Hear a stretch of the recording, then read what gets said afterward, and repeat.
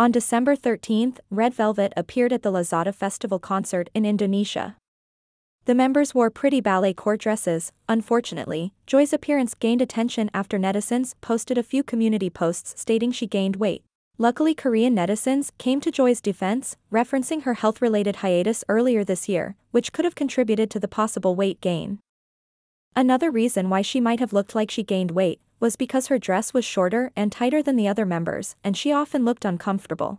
Not long ago, netizens body shamed Joy when they compared her arm size to Seulgi. Whether she gained weight or not, she's still the beautiful sunshine everyone loves.